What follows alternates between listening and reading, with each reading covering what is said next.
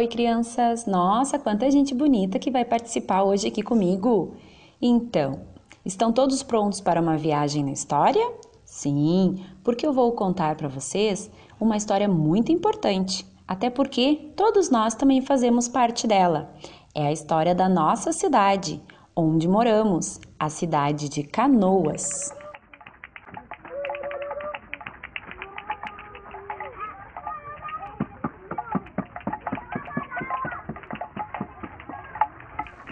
Há muito, muito tempo atrás, mais ou menos uns 300 anos, viviam aqui os índios tapes.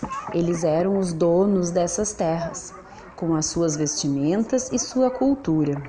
Em 1725, chegaram outras pessoas, os tropeiros lagunistas e suas famílias, e com eles o povoador e conquistador Francisco Pinto Bandeira, que em 1733 ocupou as terras e criou a Fazenda Gravataí, uma grande área.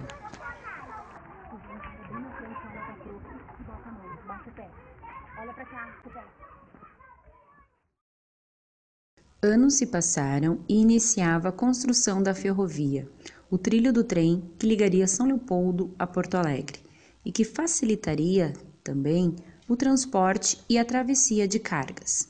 Então, bem no centro da fazenda Gravataí, foi construída uma estação para esta linha férrea, o que contribuiu para que nessa região próxima à estação iniciasse outro povoado.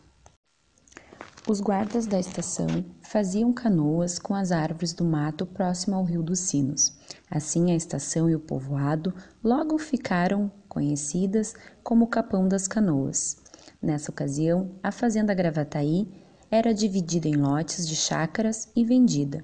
Logo, grandes áreas de terras foram transformadas em terrenos e surgia as pequenas propriedades.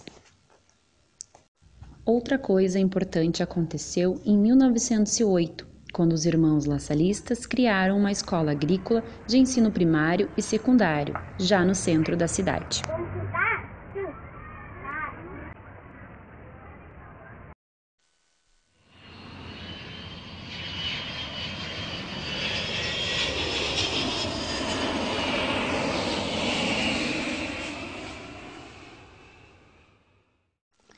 Em 1937 foi criada, hoje conhecido, o 5 Comando Aéreo Regional.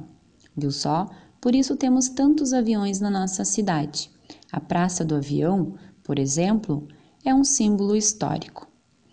Mas só em 27 de junho de 1939, de fato ocorreu a emancipação da cidade de Canoas, através de Victor Hugo Ludwig, que levou as razões ao governo.